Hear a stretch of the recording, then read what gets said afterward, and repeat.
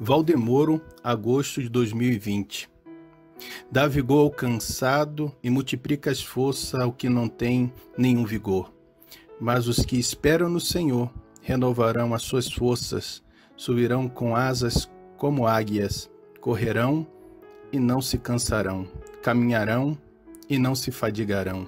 Isaías 40, versículo 29 e o versículo 31.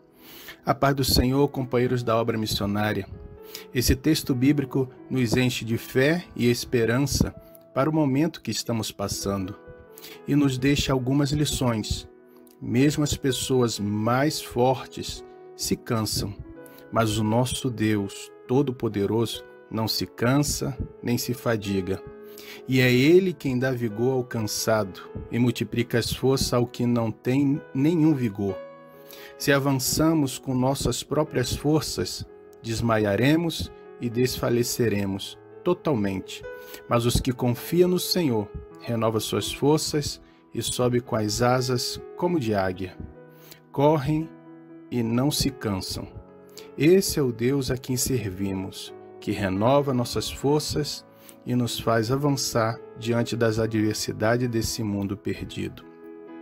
Aqui em Espanha, estamos vivendo a segunda onda do coronavírus, onde já tem muitos casos de contágios, fechamentos de cidades e o número de mortos aumentando consideravelmente, ao ponto do exército voltar a montar hospitais de campanha em algumas localidades.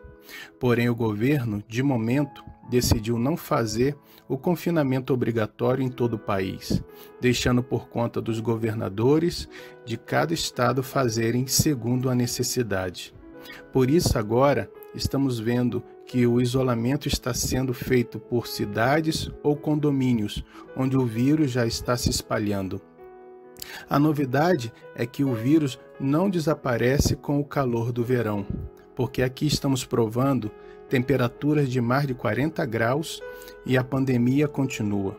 Outra informação importante é que a taxa de mortalidade é mais baixa em relação ao início da pandemia. Segundo os especialistas do Ministério da Saúde, é devido a dois fatores.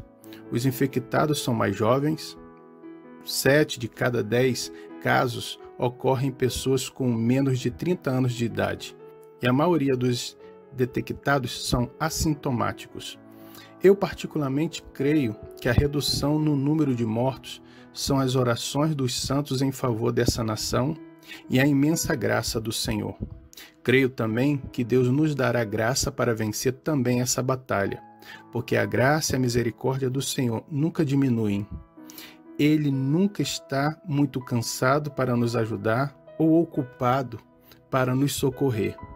Começamos o discipulado com Rebeca e Lenda para, em um momento oportuno, poder realizar o batismo delas em águas.